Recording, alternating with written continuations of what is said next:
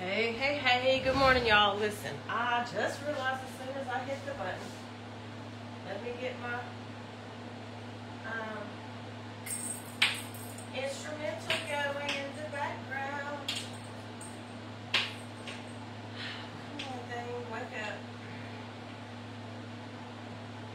I'm gonna wake this old cantankerous tablet up. It's uh, it's old and slow. It's the only one in the house. so don't even go there, but it's old and slow. Come on. Probably kind of loud right now. All right, you stop, you stop, you stop. We're not having it.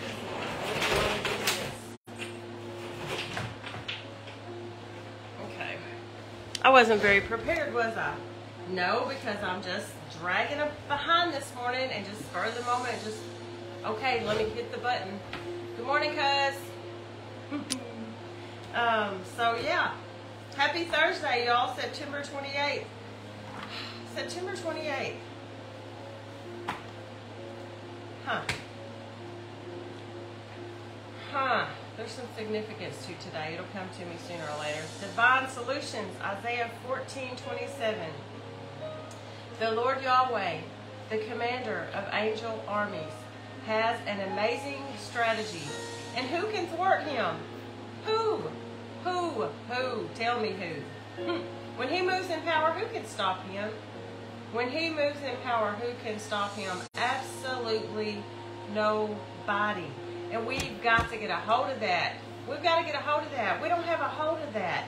We say it, we want to believe it, especially when we're feeling all, you know, holier than thou or whatever the case, when we're feeling all empowered. You see a mess they made in the living room. Anyway, but do we really, when it's time to walk it out, when it's time to go against the grain, when it's time to turn around and swim upstream, do we really believe and remember and recognize and realize and behave like we believe that the word is true? Well, I didn't do a very good job with that. Um, distraction over here. These cats are at it. Anyways, um, you know, do we really, do we really believe it? Lord, help our unbelief. So Yahweh, as I get heavenly vision for what you are wanting to release into the world and into specific situations, I bring your solutions with me into my life. See, that's that part, that part, you know, actually actually walking it out, actually applying it, applying what you've learned. What good is that knowledge if it just stays in your head? You know, all that does is make you know better, but still not doing better. So it, it, it brings about your guilt. It brings about your punishment if you don't act on it. Those that know better should do better. That's not quoted directly, but it's in there. Um, the one who knows to do right and does not, for him that is sin. That is a little more direct of a quote. Anyways, don't ask me the address. But it is a chapter and it is a verse in the Word. So, I bring your solutions with me into my life. The Word of God is written on my heart that I might not sin against Him. The Word is written on my heart that it might be what flows out of my mouth. That you know that the abundance of the heart is where the words of your mouth come from. Let that be the Word of God the truth. Um, you can't come up with anything good to say on your own. You can't do it. Stop wasting your time and be filled with the Lord. Be filled with His Word and let it come out. So I, as I intercede upon an open heaven, my heart cry joins with the wisdom of your Word and releases answers. And it does, y'all. It does, y'all. It does. I was just witnessing um, the other day about how so often in prayer, God answers my prayer through my mouth, into my ears. You know, He really resonates it with me by giving me the words as I'm seeking Him, as I'm talking it out with them. He literally answers me with my tongue. He is, yes, He's that big, He's that amazing. Who can stop Him? Who can stop him? Because I am united to you. I have access before your throne at all times. Thank you. Thank you. Thank you. With boldness we can enter in, y'all. The blood of Jesus made that possible. The veil is torn. The veil is torn. We don't have to send that priest with the rope on his leg anymore. We can just go. We can just go in Jesus' name. Do we have to say, I come in the name of Jesus? No, the Lord his people. He recognizes Jesus all over us. He sees the blood when he looks at us. He sees the righteousness of his beloved Son. And we are the righteousness of God in Christ Jesus. Stop walking around here wallowing um, and, and, you know, wanting to hold on so bad to that sinful nature. Oh, I'm just an old sinner. I'm only human. Pitiful. Don't do it. Don't do it. I'm united to you and I have access before your throne at all times. No excuses, y'all. No excuses. No excuses. Open heaven because He's given us the keys to the kingdom, because He's given us the power to bind on earth what is bound in heaven, to loose on earth what is loose in heaven, in the heavenly realms, in the unseen realm, the Spirit. We have that power in Jesus Christ. And you can't tell me that we're walking around in it like we should be. Uh-uh. Okay, they're on one this morning. Anyway, I come through the open door of Christ, climbing up and down the stairway of Jesus in intercession. Remember we talked about Jesus' stairway the other day because I was like, hmm, that's interesting uh, phrase there. And indeed it is beyond interesting. So, I will cry out for your intervention until the promise descends. Be that persistent widow. But you're not crying out to the unrighteous judge that's just going to get sick of hearing your voice. No, you're crying out to the righteous one that knows even better what you need and what you're really crying out for in the Spirit than you do. He's just going to honor your faithfulness in coming to Him and coming to His feet and answer in His time perfectly. It says, I will cry out until the promise descends. I will not rest in prayer until I feel the shift in the spirit realm. Put your power and glory on display through wonders and miracle answers. And he does. He does. Y'all, we're so used to miracles, we don't even recognize them when we're face to face with them. Do we realize that? Do we realize that as we look around? Just even think of, of how um, technology's evolved over the years, how people just look, just look at history. Look at the revolving and and and um, what's the word I'm looking for? Y'all know I don't ever bring my dictionary and I always need it. I don't even have one. I'm just saying. Google. Um, but yeah, in that sense, evolution. Um, not the, not that, not that junk. He even renounced that on his deathbed, y'all. Come on, not that junk, but the evolving, the growth, the growth that we've experienced as as a world, as a nation, as people. Um, just look around, but yet at the same time to our detriment, because we're so darn smart, we can't even, you know, walk to get somewhere and keep our body in shape. We got to drive there and save time and do this and do that, you know. All these conveniences is real. I've really been hung up, up on that lately too. I just went, I don't know. I'm in left field. Y'all give me a minute. All the conveniences that we're so smart, right? Thinking ourselves wise, we have become fools because all these conveniences that appear so smart, so wise, give us so much more time, keep us in touch with people around the world.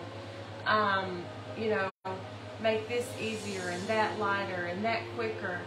What are they doing to our physical uh, strength? What are they doing to our mental strength, our emotional? What are they doing to us? Um, you know, cancer, diabetes, obesity, all these things, sicknesses, um, mental disorders that come about from all these conveniences, all this spoiling that we've done to our. It, come on but we think ourselves so wise, so wise that we don't have to, you know, hike here or whatever anymore. Transportation's been a big one for me because of how the enemy is turning it against us um, with the electric, non, you know, all the nonsense, all the things. Um, anyways, too much of anything. Let's say too much of a good thing can be a bad thing. Too much of anything is too much. too much of anything is too much because we don't have the discipline. See, that was the thing that we were supposed to be feeding and building and growing stronger was in the spirit, not out here in the natural where it's going to burn up. Literally, wow, Lord, wow. Literally, for centuries, we have been so disobedient in that. And we look around and think that that's the miracles. We look around and think that the handiwork that we've come up with, because of the knowledge and the intelligence He's given us, is miraculous. When in fact, when in fact, we've just built an entire system, an entire infrastructure that is going to burn and we've let the spiritual we've let the souls perish. We wow. This is hmm. Y'all think of it. Think of it. He just took me to a whole nother scale with that about laying up treasures laying up treasures and we've made this world a place so full of treasures that our flesh so longs for, so craves that it's willing to forfeit the creator of all for. It's willing, our flesh is willing. The enemy's more than partnered up with our flesh in this destruction of our very souls. And we call it prosperity. We call it good. Not just not just the obvious evils of sin, not just the obvious evils of those that won't inherit the kingdom, the adulterers and idolaters and witchcraft and, you know, on and on and on. Um, and even those that hate and even those that judge and even those who um, are corrupt, you know, in their thoughts and such. You know, go go read go read that. That's not where I'm going exactly, but you know, we focus on that but look at the big picture of the treasures that we've laid up as a whole, cor- corporately. Wow. Wow. Wow. I gotta get, whoo, I gotta dig deeper to that. Let's finish this prayer. Man, thank you, Jesus. Wow. Yeshua. Do it, Lord. Do it, Lord. You're the only one who can. Open our eyes those that have eyes to see, those that have an ear to hear, let them hear what the Spirit of the Lord is saying. It's not about all this junk that your eyes can behold in the natural. It never was. And we've wasted centuries making it about that, building up these treasures, laying up these treasures on earth. They're steadily crumbling. Um, you know, we look at, at the past generation, um, the, the ruins all around us It's becoming rubble. It's becoming dust. It's becoming, you know, um, dilapidated and junk. But it was somebody's treasure once. They're gone from this realm. And that's what's left. And yet we build it and do it all over again for ourselves. Like stop the stop the madness cycle and let me off. I want to get on board with the Lord. Come on. Wow. Divine Solutions. Did I even say that that was the title today? Because, listen, He's taken us there this morning. Thank you, Jesus.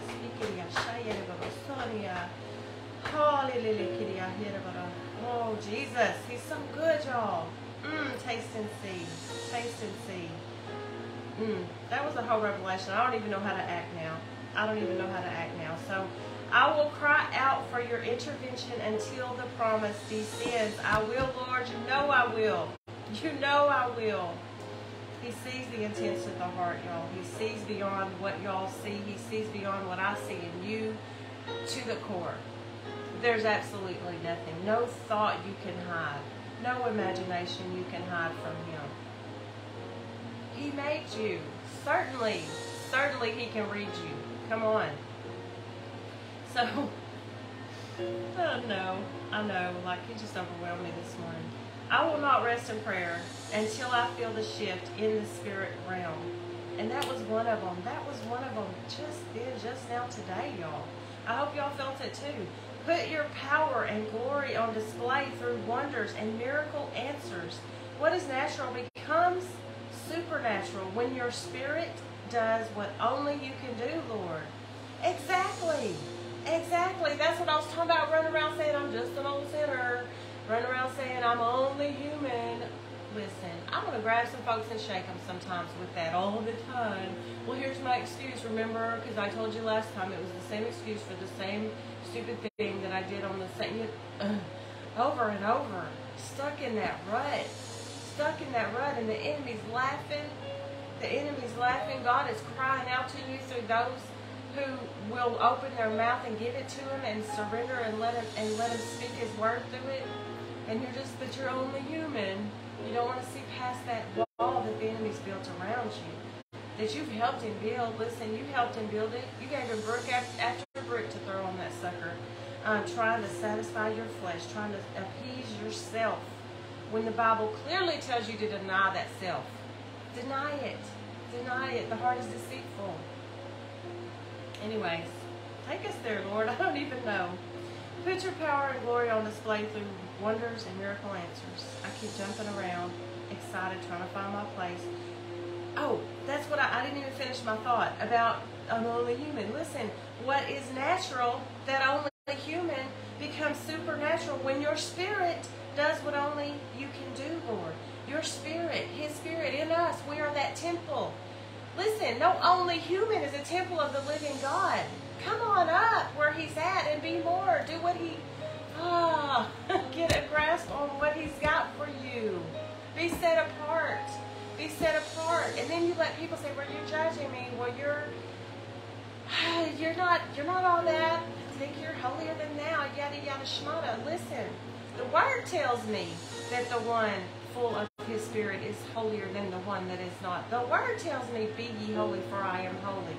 Um, don't be afraid of what people say about you. Don't work so hard trying to be only human to satisfy the only humans. Get up. Get up. Get up, bride. Your groom is on his way. Get up. Oh, Kitty Barashaya.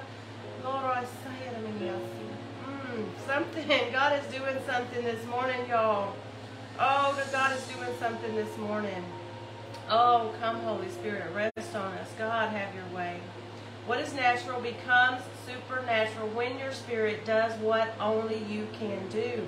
You make wrong things right, redirect steps, and foil the plans of the enemy. You do it, and I get to partner with you. I love being your prayer partner in life, Lord.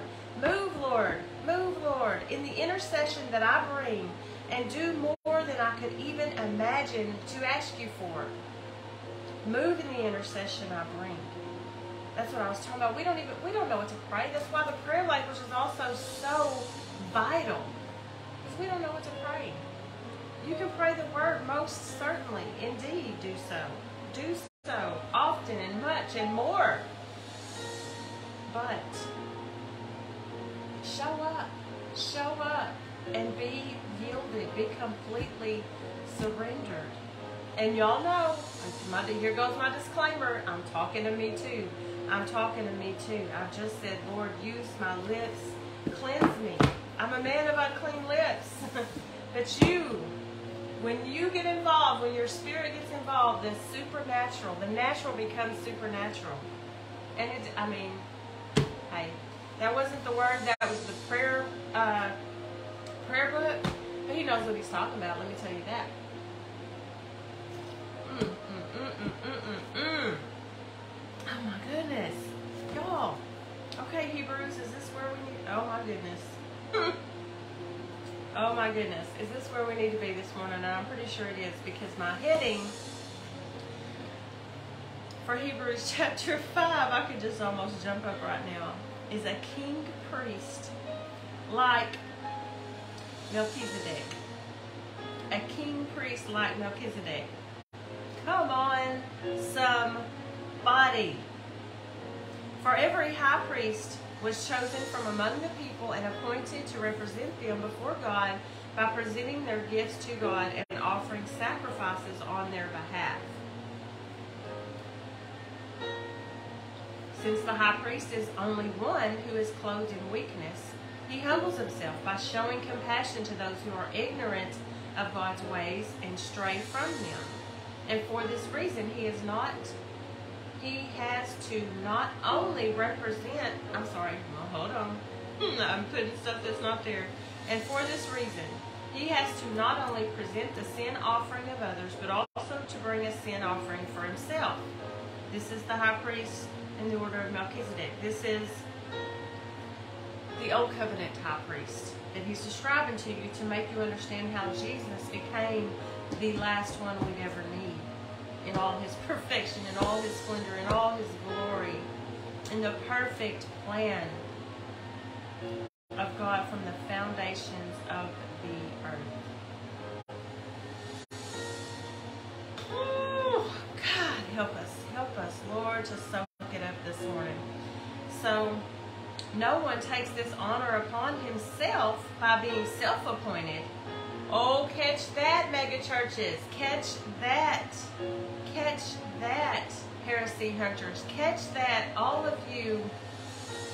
Oh my goodness, with three or four titles before your name and, and a bunch of initials after. Catch this. No one takes this honor upon himself by being self appointed, but God is the one who calls each one, just as Aaron was called. So also, Christ was not self appointed and did not glorify himself by becoming high priest, but God called and glorified him. For the Father said to him, You are my favored son. Today I have fathered you. Today I have fathered you. Every day I beget you. Because I am. This is ongoing. He's outside of time. He's outside of the past, uh, present, and future. It's all in his hands. Just that. Mm. Teach me, Father. Teach me, Father. Teach me, Father. Mm. Adonai. El Shaddai. Most precious. He just. Mm. Thank you, God. You are my fathered son. Today I have fathered you. And in another scripture, he says about this new priestly order You are a priest like Melchizedek, a king priest forever. Like him, in that you offered that sacrifice for all the people, but forever because you are the Messiah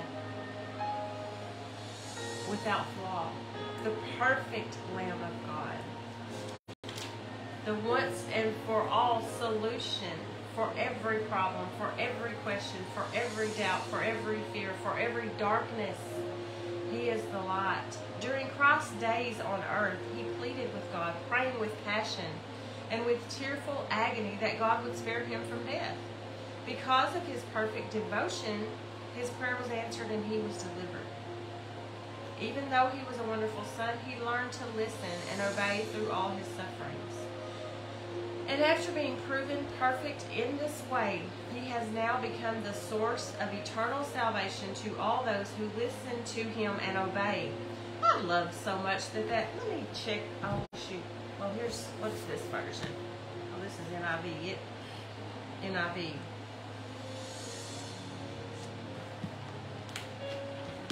We're gonna, we're gonna see. I don't have my King, chain, King, King chain, King James within reach. But I'm going to see what NIV says in that. I love that he didn't say believe. He said those who listen to him and obey. Because, hello, because, hello. That's where it's at, y'all. That's the ones. That's the ones. Yes, he loves us all. He loves those who, who are burning for eternity too. Mm. Hebrews 5 Oh, excuse me. I Oh, good grief, it was just right there. Okay, Hebrews 5 9. 5 9. I just want to get a different different wording for it. Um, y'all know how I do. And once made perfect, he became the source of eternal salvation for all who obey him. Okay, so it's it's not just his take, it's it's it's word and that's why you gotta take the whole package. You can't just pick that one verse and hang from it, dangle from it, or try to let it dangle from you and not take on the whole word, not get the whole revelation, not seek God, not get filled with His Spirit that will lead you into all understanding and all truth. Because even the devils believe and they tremble in fear. Even they have sense enough to tremble in fear. Some of us don't even do that. Where's our fear of the Lord? That's the beginning of always. I, another one I always end up going back to. But anyway, let's carry on. Even though he was a wonderful, wait, no, that's not where I was. For God has de- designated him as the king priest who is over the priestly order of Melchizedek.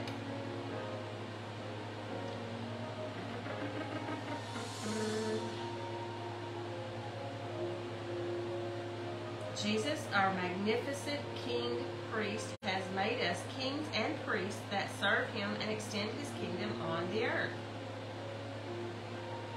Why? Because we're co-heirs with he is in in Christ. You have this perfect brother who came to save the world. You have this Messiah as your brother, as close as a brother. Do y'all hear me though? Do y'all hear me though?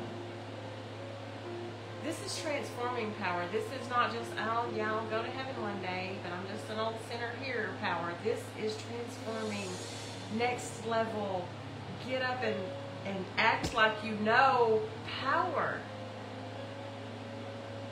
Come on. Come on. I feel like it's like gladiators mount up. It is time. It is time. Oh, it is time. He has designated him king priest who is over the priestly order of Melchizedek. We have much to say about this topic, although it is difficult to explain because you have to become too dull and sluggish. Oh, I'm sorry, not you have to. Because you have, oh, preach! Oh my goodness. Did Paul write Hebrews? Hebrews, Hebrews the one we're not sure who wrote. Let me flip back over here for a second. Just so I can say, preach, Paul, like I always do. I'm so silly. Um, unknown, but possibly Paul, Barnabas, Apollos, or Priscilla is what this tells us about the author. We have so much to say about this topic, but it's difficult to explain because you are too dull and sluggish to understand. You don't care. You're wrapped up in the things of this world and all that treasure that's going to burn that you don't even want to take the time to hear the truth that's going to set you free for an eternity, for the eternity of all eternities, for infinity. But you'd rather hold on to this little, this little stuff here. This pleasure of the flesh. This fleeting pleasure. Mm, Lord God, my mouth is yours, Lord. May only your words flow from it. For your truth, for your glory, God. Be glorified in me. I am yours to command, Lord God, Most High, Yahweh, Yeshua, Hamashiach, Jehovah, Sidkenu, my righteousness. Mm, help us, Jesus. Help us, Jesus. You've become too dull and sluggish to understand. For you should already be professors instructing others by now, but instead, you need to be taught from the beginning the basics of God's prophetic oracles. You keep wanting to start over because you're not walking in the power. You're not getting that. You're not letting go of that dignity and that pride. And oh, it's got to be this way and it's got to look so and so. All that outward. You're not letting go of that. That's stuff that, that's got to be cleansed, purged, removed. How bad do you want it? How bad do you want this eternity with this perfect God? How bad do you want it? And it begins now. It doesn't begin then. It begins now. It now is the day of salvation. It doesn't begin when I die. It doesn't begin when he calls me home. It it begins now. You become a citizen of heaven, born again, removed, set apart from this world. You're in the world, you're not of the world. Get a grip on these things. These things are literal. These things are detrimental. Detri- no, detrimental. Well, it is if you don't get a grip on it, but that's not what I meant. These things are vital. These things are necessary. We treat them like there's, oh, that's for those radical ones. That's for those holy rollers. You know, I just, I'm simple. I'm too simple for that. I just, I just need, you know, I just need His love and His peace. I just, I just want to go to heaven, but I want to live like hell on earth. Tell the truth. Go ahead and say it like it is, because He sees what, what's in your heart anyway. So go ahead and say that, and then get in this Word and find out how, how wrong you are, how deceived you are, how misled you are, how fast you're barreling to hell. Go check that out. Go check that out. Let me just, oh, come on, Jesus. come on, Jesus. Come on, Jesus. And this is, you know, this is heavy and this is a lot. And this is not for the straight up lost. The lost don't have a clue. We're getting to a time where everybody's got some kind of clue about the Lord. They will choose to call. They will choose to say no. You know, there's those that will continue to stubbornly refute and doubt, and um, to their to their eternal damnation they will. The word tells us they will. But this is for those who would call themselves the bride that are running around in funeral clothes instead of wedding clothes. Come on, do you hear me this morning? Do you hear me this morning? Oh, preach, Paul or Apollos or whoever. Okay, so you're too dull and sluggish to understand. Wake up. Wake up. Wake up. For you should already be professors, instructing others by now. Instead, you need to be taught from the beginning the basics of God's prophetic oracles. You're like children still needing milk and not yet ready to digest solid food. And that's by choice because he does not he, he does he's not a respecter of persons he's not over here feeding one more than another unless they're coming hungry do y'all hear me unless they're coming hungry more than another he answers those who ask those who seek those who knock they're the ones he's opening the door for that's not a that's not a favoritism. That's a you don't want it bad enough to go ask him for it. That's what that is. I want it all. I want all he has for me. I don't want anything this world has. Woo, in the name of Jesus. Mm, thank you. Thank you so much. So you're like children still needing milk. And like I said, that is by choice. See, people want to use this and say, well, see, this is, see, the Lord knew. The Lord knew because this is where I'm at. I'm just not ready for that and not going to get ready if you don't make up your mind to, if you don't set your heart on the things of God, if you don't intentionally crucify that flesh every morning and get in that spirit, um, seek Him, and that yet again, it all can sum up in that: seek ye first the kingdom and righteousness of God. Oh, Jesus is doing a thing. He is doing a thing.